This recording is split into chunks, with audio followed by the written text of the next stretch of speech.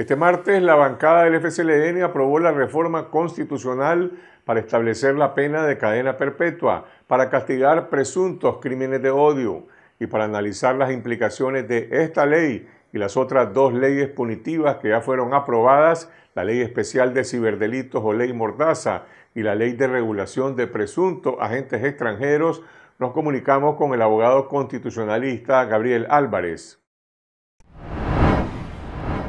Este martes, la bancada del FCLN aprobó la reforma constitucional para establecer la pena de cadena perpetua, para castigar presuntos crímenes de odio y para analizar las implicaciones de esta ley y las otras dos leyes punitivas que ya fueron aprobadas, la Ley Especial de Ciberdelitos o Ley Mordaza y la Ley de Regulación de Presuntos Agentes Extranjeros, nos comunicamos con el abogado constitucionalista Gabriel Álvarez.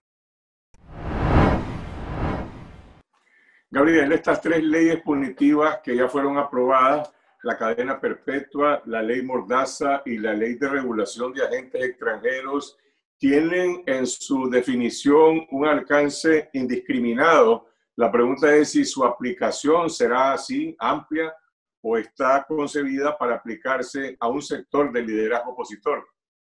Yo pienso que está diseñada para aplicarse selectivamente, efectivamente porque es tan amplia, su, proyección es prácticamente eh, indefinida. Yo lo he dicho desde que se introdujeron las iniciativas, pero así quedaron definitivamente aprobadas.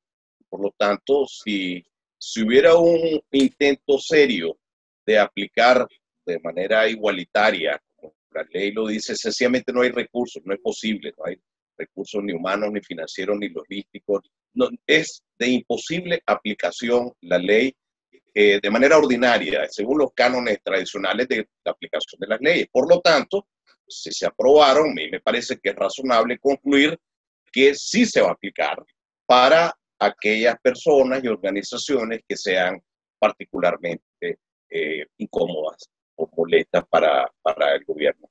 ¿Por qué necesitaba el régimen establecer estas leyes y prácticamente todo lo que amenaza que va a hacer ya lo ha hecho de facto en los últimos tres años y prácticamente hemos vivido durante dos años en un estado policial de facto donde, todo donde todas las libertades están suspendidas. Creo que coincido con vos plenamente en cuanto a que no hay ninguna limitación o impedimento para que el gobierno siga violentando la legalidad, la constitucionalidad, los derechos humanos, cuando él considere que debe hacerlo.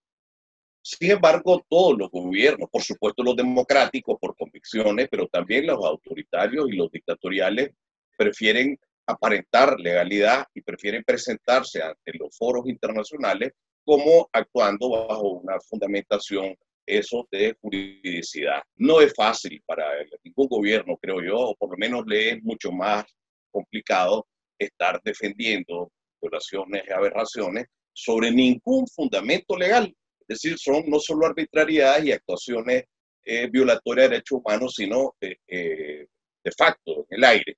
Entonces yo pienso que él va, él está, ellos, los, los gobernantes, están pensando que viene una etapa en donde van a tener que, aplicar todavía más la represión y van a tener que presentar ante el mundo que es la legalidad, que, ellos no están actuando de facto ni de manera como lo han venido haciendo. Por eso usted decía que yo coincido. Ellos no tienen, hacen lo que da la gana, pues, y, no responden ante nadie a nivel interno. Todos los poderes dependen de la voluntad política, de los intereses políticos de los señores Ortega y Murillo, pero sí me parece a mí que es muy diferente defender ante la comunidad internacional una actuación con fundamento legal o la misma actuación sin ningún fundamento legal. Y eso es lo que yo pienso.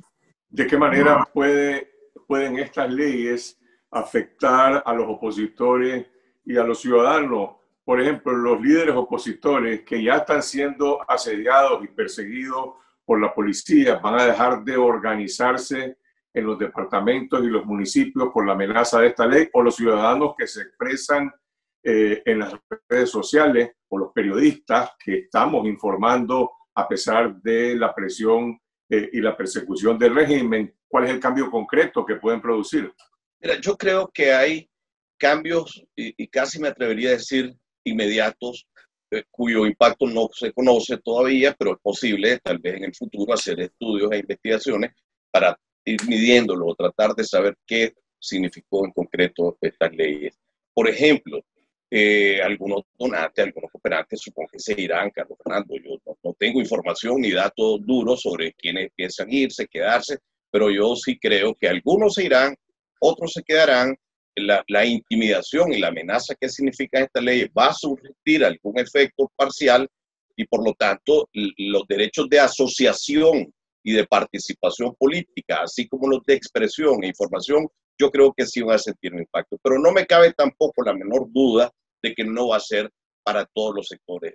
la, gente, las organizaciones, los sectores, algunos de ellos, yo casi me atrevo a ser mayoritario por lo que veo, por lo que escucho, por mis conversaciones, que van a seguir ejerciendo sus derechos, van a seguir intentando ejercer sus derechos y van a tratar pues de, eh, de, bypassear, permíteme la expresión, los efectos más perniciosos de las leyes. Por lo tanto, yo sí pienso que la, el mecanismo de asfixia económica va a tener un efecto y esto es sobre todo el mundo, Carlos.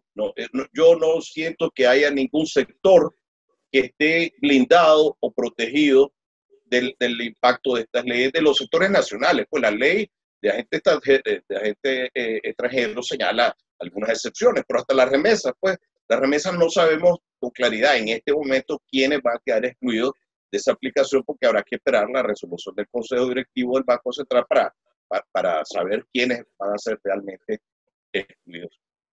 La ley de regulación de los presuntos agentes extranjeros obliga a ciudadanos, a personas naturales, a asociaciones, a fundaciones a registrarse ante el Ministerio de Gobernación y prácticamente autoincriminarse. ¿Cómo evalúas la reacción de algunas de las plataformas de organizaciones no gubernamentales que han anunciado que van a recurrir por inconstitucionalidad, otros van a recurrir de amparo y dicen, nosotros no vamos, no aceptamos eh, someternos o autoincriminarnos bajo esta ley. Yo creo que eso es muy positivo. Yo creo que eso es, en primer lugar, lo que tenemos que hacer los ciudadanos eh, nicaragüenses, pero en cualquier parte del mundo, y es utilizar los instrumentos que ofrecen los estados contemporáneos.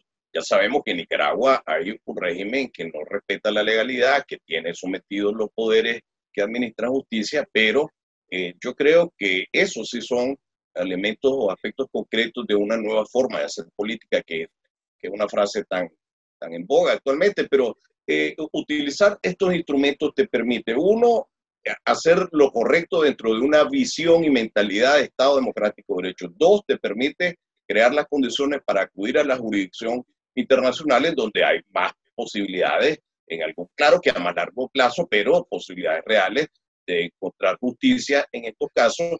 Y yo creo que tiene una función didáctica, pues, eh, diga, si me permitís, un poquito pedagógica, eh, cultural a largo plazo, pues más a largo plazo todavía. Esto no significa que no haya otras vías, otras posibilidades también dentro del marco legal para eh, enfrentar esta investida legislativa del gobierno. Por lo tanto, yo tengo que aplaudir, saludar e, e, invitar a, los, a las organizaciones y sectores que todavía no están convencidos de que esta es una buena manera de iniciar el, enfrentamiento, debo decirlo de esa manera, a, a esta parte, a esta fase política de Nicaragua, a hacerlo. Yo creo que eso es correcto.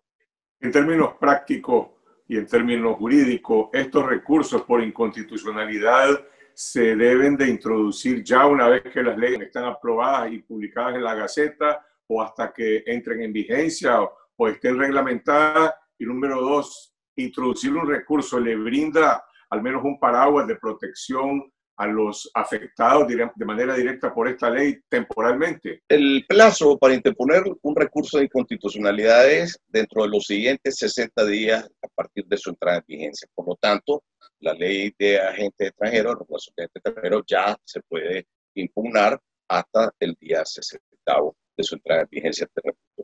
La ley de ciberdelitos no, porque va a entrar en vigencia hasta los 60 días de haber sido publicada. ese será el momento que inicia el plazo de los 60 días para impugnar. En cuanto al recurso de amparo, este se introducirá en, en el momento en que ya las personas sientan una amenaza inminente o efectivamente se les aplique o se les quiera aplicar o se les combine a, a registrarse en un caso o a otra actividad en la que la ley de ciberdelitos pues, permite o faculta. En el caso que los ciudadanos estimen, como yo creo que es legítimo estimar, que eso violenta sus derechos constitucionales, pues se podrán recurrir de amparo en un plazo de 30 días a partir de que sepan o a partir de que se les notifique un acto concreto de violación o de amenaza de violación. Yo creo, Carlos, si me permitís, lo vinculo con la pregunta anterior. Los nicaragüenses no debemos hacer y no me parece que sea lo mejor hacer lo que el gobierno hace. El gobierno no aplica la legalidad, finge, finge legalidad e interés en respeto de la legalidad. Yo por eso voy a insistir siempre que se utilicen estos recursos. Entonces no se puede actuar, no se debe actuar de la misma manera de desprecio al derecho como lo hace el gobierno, sino utilizando los mecanismos en el caso específico de la ley de ciberdelito, que introduce el delito de la información falsa y o tergiversada, ¿quién determinará ese delito? Eh, una persona acusa a un periodista o a un bloguero de haber difundido información falsa, eh, lo va a determinar eso la fiscalía, lo va a determinar un juez, ¿quién determina que eso, eh, que se está incurriendo en un presunto delito? Mira, estás tocando, creo yo, uno de los aspectos más lesivos, una de las amenazas más graves de, este tema de las leyes, que paradójicamente, siendo ellas en sí mismas ya graves y una amenaza muy fuerte contra nuestros derechos, lo peor es, las autoridades que las van a aplicar. Es decir, ni la policía, ni el Ministerio Público, ni los jueces tienen ninguna garantía de aplicar esto de manera imparcial, sino todo lo contrario, se ha venido demostrando desde hace muchos años, y no solo desde abril del 2018, que se aplican las leyes de conformidad con las orientaciones, con los intereses políticos del gobierno del señor Ortega y de la señora Murillo. Entonces, ¿quiénes van a determinar eso? Aparentemente, formalmente, bueno, en un primer momento la policía o el Ministerio Público verá si presta mérito alguna denuncia de cualquier ciudadano y en términos, eh, digamos, definitivos, los jueces. El juez es el que va a determinar si hay o no eh, una información falsa en, en los términos que describe la ley. Y esto significa, lamentablemente, ya en términos reales, permíteme que me aparte un poquito del dato jurídico, jurídicamente el juez va a ser el gobierno, porque precisamente como te decía, quien recibe las orientaciones, además los magistrados, los jueces no, no se preocupan ni se ocupan en disimularlo, pues no, yo no creo que estoy diciendo algo que les moleste mucho, más bien da la impresión a veces que les interesa demostrarnos a los nicaragüenses que ellos son militantes partidarios y eso significa, y esto es lo más grave, insisto, que quien va a aplicar estas tres leyes lesivas en sí misma va a ser una autoridad que no tiene ningún respeto por la imparcialidad e independencia que lo debe caracterizar a la hora de aplicarla. Esta semana se abrió para muchos la cuenta regresiva para la eventual celebración de elecciones en noviembre de 2021. Alguna gente dice ya comenzó el año electoral, otros dicen más bien estamos cumpliendo dos años consecutivos de estar bajo un estado policial en Nicaragua. Lo cierto es que hay información del partido Frente Sandinista que el presidente Ortega ya orientó a operadores políticos de la Asamblea, de la Corte Suprema, diseñar un proyecto de reforma a la ley electoral sin cambiar el Consejo Supremo Electoral, sin hacer reformas constitucionales y sin introducir cambios sustantivos a lo referido a la inscripción de partidos, de alianzas y de la observación electoral eh, internacional. ¿Cómo evalúas desde la perspectiva del grupo promotor de las reformas electorales esa iniciativa del gobierno? desde la perspectiva del grupo promotor quisiera excusarme porque eh, eh, prefiero hacerlo desde la perspectiva de Gabriel Álvarez, miembro del grupo promotor y por lo tanto conozco de primera mano y desde adentro eh, lo que en general piensan todos los miembros del grupo promotor. Pero yo no tendría mayores dificultades en creer que es posible que sin reformas constitucionales pueda configurarse un marco normativo que permita un proceso electoral homologable, digamos, con los estándares internacionales. las reformas constitucionales que muy afortunadamente la coalición apoyó con la facilitación técnica del grupo promotor, van en la dirección de fortalecer la democracia, la institucionalidad, de, restituir eh, eh, graves problemas de funcionamiento estatal, etc. Sin embargo, eh, yo creo que el, el, elemento fundamental es diseñar un proceso electoral que permita eh, darle el peso político que la voluntad de la gente tiene en la democracia. Por lo tanto, eso no se puede hacer, creo yo, Carlos Fernando, sin cambiar el Consejo Supremo Electoral. Eso yo ya, porque hablaste de tres conceptos, me parece a mí, eh, cambiar el Consejo Electoral, reforma constitucional y reforma electoral. No es posible tener un proceso electoral que permita eh, validar pues, el proceso electoral, digamos, a priori participar en él de manera razonable, sin un nuevo Consejo Electoral ni sin modificaciones a la ley electoral. Es muy importante. Y en cuanto a las reformas constitucionales, yo dejaría abierto el debate, respeto y me parece que son suficientemente argumentadas opiniones, tanto en la dirección que exigen las reformas constitucionales como aquellas opiniones que piensan que no son imprescindibles para un buen proceso electoral. ¿Qué significa cambios en el Consejo Supremo Electoral? Y te pregunto esto porque hay personas eh, con cargos vencidos y otros incluso que están fuera del Consejo, como el caso de Roberto Riva, que pueden ser reemplazados por otros operadores, digamos, del régimen. Lo mismo pasa en la Corte Suprema de Justicia, donde posiblemente en las próximas semanas vamos a conocer iniciativas del gobierno para reemplazar eh, magistrados por otros magistrados, ya sea del partido de gobierno o de otro. Mover personas es equivalente a hacer cambios. Cuando ustedes hablan de cambios en el Consejo Supremo Electoral, ¿a qué se refieren? Nosotros nos referimos, en primer lugar, al cambio efectivamente de, personas, de, de, magistrados, de los magistrados actuales, porque los magistrados han sido partícipes, han sido pues, los gestores de sucesivos fraudes electorales y esto no puede producir la confianza necesaria para que haya una participación electoral eh, eh, aceptable en el próximo año. Por lo tanto, ese es el primer punto. Pero también es bueno, eh, Carlos Fernando, aunque no se abordan mucho estos, estos temas desde este enfoque, es bueno también analizar y mejorar los funcionamientos internos, también las las direcciones, que aunque no son propiamente parte del Consejo Supremo Electoral, sí dependen del Consejo Supremo Electoral. En un borrador de resolución, el primer borrador, si no recuerdo mal, de, resolución que estuvo circulando, se hablaba de estructuras del, poder electoral adscritas o subordinadas al Consejo Supremo Electoral, y yo creo que es importante tomar en cuenta esa posibilidad o esa necesidad más, mejor dicho, de modificación del poder electoral. Sin embargo, a mí me parece que lo esencial es integrar un Consejo Supremo Electoral que le transmita un mensaje de mayor confiabilidad a la población. El actual Consejo Electoral transmite toda la seguridad de que las elecciones serán fraudulentas y eso es un, es un atentado a priori de la eh, eficacia como instrumento democrático del próximo proceso electoral. Tanto en el Partido Sandinista como por supuesto en la sociedad civil y en otros partidos existe gente honorable y es gente que podrá estar interesado en diseñar y dirigir un proceso electoral limpio, libre y transparente.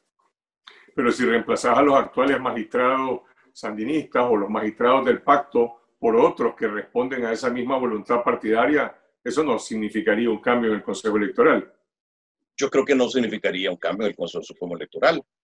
Sin embargo, eso ya son parte de la, y lo voy a decir aquí con todas sus letras, eso entra dentro de las habilidades políticas. Si, si se nombrara, supongamos que el presidente Ortega propusiera a, a uno de sus militantes, alguno de sus adeptos, eh, más sumiso eh, que los actuales magistrados y no se le conoce eh, este nivel de sumisión o, o este nivel en donde eventualmente se prestaría a cumplir con más facilidad cualquier orden fraudulenta, así lo digo, lo, digo con todas sus letras, pues yo creo que nos daríamos cuenta hasta después del proceso electoral, pero al inicio del mismo podría ser que eh, me envíe un, un, mensaje por lo menos del beneficio de la duda. Lo que quiero decir, Carlos, que la primera condición es tratar de cambiar la imagen y, transmitir un mensaje de confianza la mayor medida posible a la gente, a la población, de que el Consejo Electoral va a tratar de hacer mejor las cosas. Ahora bien,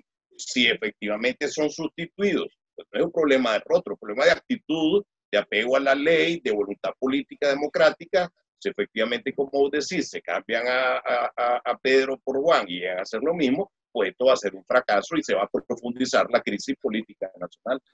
Más allá de las personas y del Consejo Supremo Electoral, se puede ir a elecciones en 2021 con presos políticos, con el actual Estado policial e incluso con estas tres leyes punitivas que acaban de ser eh, aprobadas. Es decir, más allá de la reforma electoral que se está proponiendo, eh, se puede ir a elecciones bajo estas condiciones.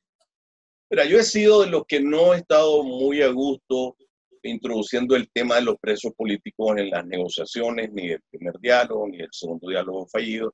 Yo creo que eso debe ser una exigencia eh, transversal, permanente, incondicionada y, total de la sociedad nicaragüense y de la comunidad internacional. Yo creo que eso le ha permitido al, señor Ortega pues, tener una ficha de cambio. Por lo tanto, yo creo que si vamos a la a la realidad nicaragüense, a la tradición nicaragüense y, en el mundo, pues lamentablemente ha habido procesos electorales que han facilitado, propiciado transiciones democráticas por presos políticos.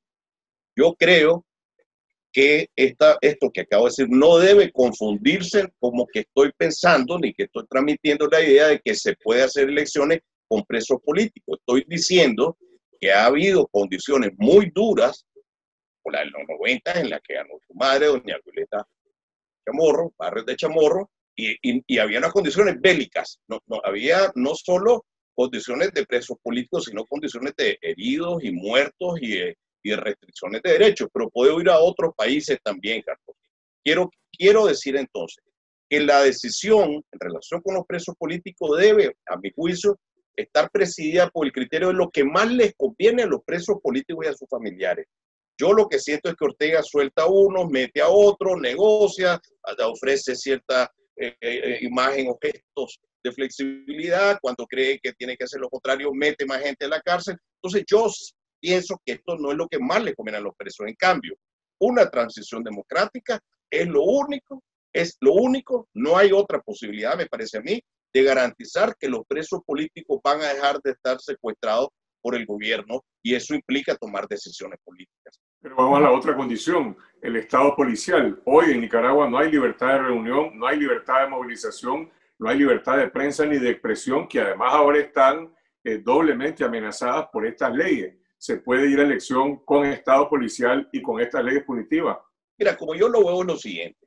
Yo veo que el Estado nicaragüense es un Estado que, que saltó por los aires, eso triste, aquí no hay referente de un Estado de derecho mínimamente funcional, ¿no? Aquí hay dos voluntades eh, personales que pasan y se transforman en voluntad estatal y por lo tanto no es un referente, Carlos. Yo eh, estoy convencido de que pretender trasladar las condiciones actuales a las condiciones electorales, yo siento que es fácil de responder, no, no se puede.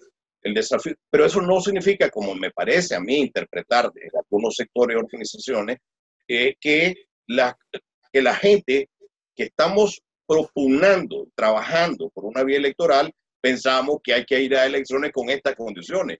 Obviamente se trata de que la sociedad nicaragüense, de que las organizaciones nicaragüenses y que la comunidad internacional obliguen, obliguen que, que Ortega y la señora Murillo se sientan políticamente sin salida para dar la, y así lo digo porque aquí no hay negociación política en la Asamblea, tiene la mayoría, para dar las condiciones políticas e institucionales que permitan ir, ir a estas elecciones. Si no, si él no quiere, y eso lamentablemente es así, si Ortega no quiere y no se le convence y no se persuade que eso es lo mejor para todos, sencillamente no va a haber condiciones políticas adecuadas para participar en las elecciones. Pero yo pienso que sí es posible todavía trabajar en esa dirección y que de aquí a noviembre del próximo año se verá, o antes, por supuesto, cuando digo noviembre, digo la fecha propiamente de las votaciones. Se verá en los próximos meses si Ortega prefiere mantener esta línea de la represión y, del, y de la fuerza bruta eh, para gestionar la crisis o si dará ciertos espacios democráticos para tratar de gestionar la crisis o si dará ciertos espacios democráticos para tratar de gestionar la crisis de la manera más razonable posible.